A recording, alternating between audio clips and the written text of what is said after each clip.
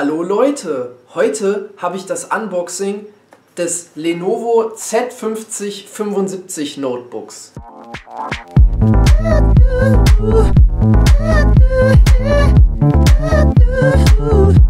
Warum ich euch dieses Notebook dringend empfehle, wenn ihr gerade ein neues äh, Notebook sucht, ähm, werdet ihr dann sehen, wenn wir auf die technischen Daten zu sprechen kommen. Jetzt äh, schauen wir uns aber erstmal den Karton an ähm, ganz schlicht gehalten in ähm, recycelter Pappe, zumindest sieht es für mich so aus. Vorne mit Lenovo drauf. Hinten haben wir nur den Hinweis, dass da Akkus äh, drinne sind. Und äh, hier haben wir den Aufkleber zum Zerschneiden. Im Übrigen mit heute äh, dabei ist wieder das Unboxing-Messer. Bekannt aus Film und Fernsehen. So, widmen wir uns dem Öffnen des Kartons.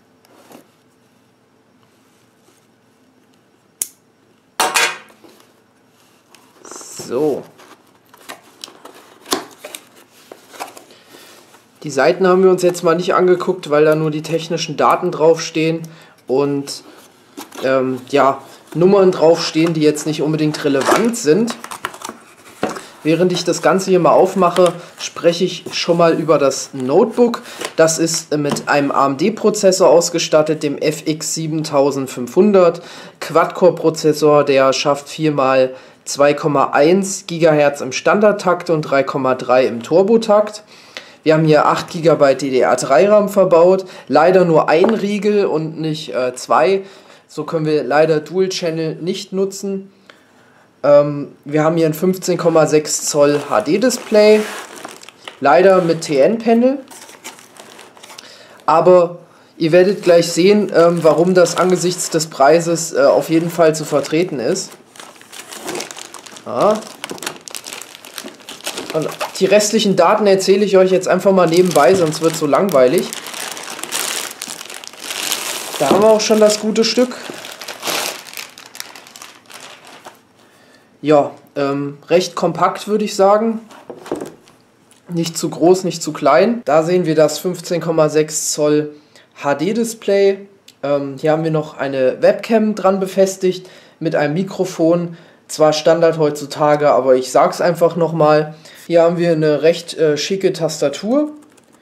Ganz normal mit den niedrigen Tasten, wie das heute auch Standard ist. Ähm, auf den ersten Eindruck, ja, würde ich sagen, ist alles Taco. Ähm, ist natürlich die deutsche Version, wäre auch schade, wenn nicht. Ähm, gekauft habe ich das Ganze übrigens bei Saturn. Ähm, den Preis erzähle ich mal bewusst ganz am Schluss, damit ihr euch jetzt schon mal so ein Bild machen könnt, was würde so ein äh, Laptop wohl kosten. Schreibt mir jetzt einfach mal ähm, eure Tipps in die Kommentare und ich löse das am Ende des Videos auf und dann werdet ihr verstehen, warum dieses Notebook für den Preis so mega geil ist, sage ich mal. Wie man hier erkennen kann. Das sind äh, Dolby Home äh, Theater Lautsprecher. Ähm, wie der Sound ist, werde ich dann in einem Review feststellen, sofern euch ein Review überhaupt interessiert. Schreibt mir das bitte auch einfach mal in die Kommentare. Auf den ersten Eindruck ist auch die Oberfläche hier ähm, längst nicht so billig, wie ich das von äh, Toshiba gewohnt bin. Also ich finde, das fühlt sich schon mal deutlich edler an und scheint auch nicht ähm, so schnell verkratzen zu wollen wie die Oberfläche meines äh, Toshiba Notebooks. Einige werden hier vielleicht einen Windows äh, 10 Aufkleber vermissen. Den gibt es nicht, weil es, ähm, ich habe es ohne Lizenz gekauft. Das heißt, ähm, ja, komplett ohne Betriebssystem. Ich werde das Betriebssystem dementsprechend also selbst installieren. Das hat äh, mich äh, 50 Euro gespart. Und ähm, von daher würde ich sagen, für die Leute, die noch eine Lizenz rumfliegen haben, lohnt sich das auf jeden Fall. Zumal ihr auch ähm, Windows 7 Lizenzen nutzen könnt, um Windows 10 zu benutzen. Und die Windows 7 Lizenzen sind ja auch meist nicht so teuer. Seitlich haben wir hier einmal ein USB 3.0 Port, ein USB 2.0 Port, HDMI, ein Gigabit LAN-Anschluss, VG, ein VGA-Anschluss, die Lüftungsauslässe und hier natürlich den Anschluss für Strom. Auf der anderen Seite haben wir den Anschluss, äh, um das ganze Notebook hier zu sichern. Ob der es ein Kensington ist, das weiß ich jetzt leider gerade nicht. Könnte aber sein.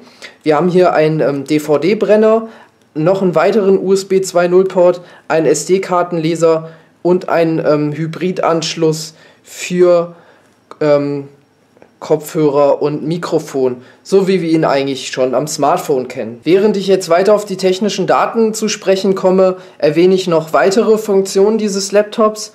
Ähm, die Festplattenkapazität beträgt 1 Terabyte. Wir haben hier also eine normale 1 Terabyte HDD, leider keine SSD, aber wie gesagt, Preis, das äh, hört ihr gleich noch. Wir haben hier Bluetooth mit eingebaut in der Version 4.0, WLAN BGN, leider nicht AC, aber kann man für den Preis auch nicht erwarten. Und wir haben hier die äh, Radeon R7 M260X GPU verbaut, ähm, die für diese Preisklasse auf jeden Fall auch richtig krass ist. So, und um euch jetzt nicht weiter auf die Folter zu spannen, ich habe hier einen Preis zu nennen. Ihr bezahlt gerade mal 399 Euro für dieses Notebook. Jetzt äh, schreibt mir mal eure äh, Meinung äh, zu diesem Preis bitte in die Kommentare, weil ich finde ihn unglaublich äh, für diesen Preis. Ähm, dass man sowas überhaupt äh, zu dem Kurs bekommt, finde ich schon, äh, ja, ziemlich krass. Ähm, hier haben wir den Akku, ziemlich klein gehalten, ist auch nur so ein 4-Zellen-Akku. Hat auch leider nur 2200 Milliampere-Stunden, sehe ich hier gerade. Hier ganz klein, ich weiß jetzt nicht, ob man es sehen kann, aber ist auch egal. Ähm, jedenfalls soll der damit wohl 4 Stunden halten, aber das äh, werden wir dann auch nochmal überprüfen.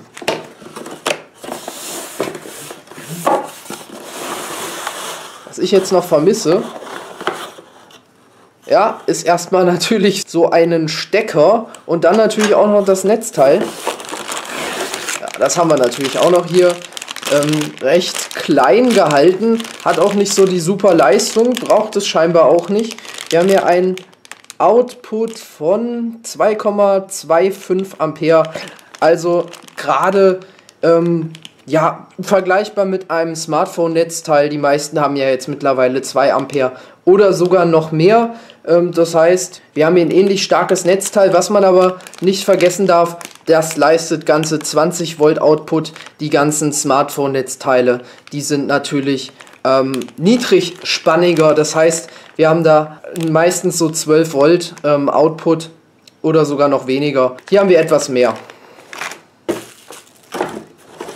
Ansonsten haben wir nichts mehr in dem Karton. Ja, dann äh, war es das soweit mit dem Video. Ich würde mich über Feedback freuen, natürlich auch über einen Daumen nach oben, wenn euch das Video gefallen hat. Ansonsten äh, schreibt mir mal in die Kommentare, ob ihr jetzt zu dem Notebook ein Review wünscht, ob es für euch in Frage kommt, wie ihr den Preis beurteilt und ansonsten könnt ihr auch mal in die Beschreibung schauen, da werde ich nämlich auch einen Kauflink reinpacken, wenn ihr einfach mal ähm, das nochmal alles nachschauen wollt. Ansonsten wünsche ich euch noch einen schönen Tag und sofern ihr mich noch nicht abonniert habt, könnt ihr mich jetzt auch gerne abonnieren. Was ihr auf dem Channel zu erwarten habt, habt ihr ja schon im Intro gesehen. Ansonsten schaut einfach mal vorbei. Bis dann, Leute. Ciao.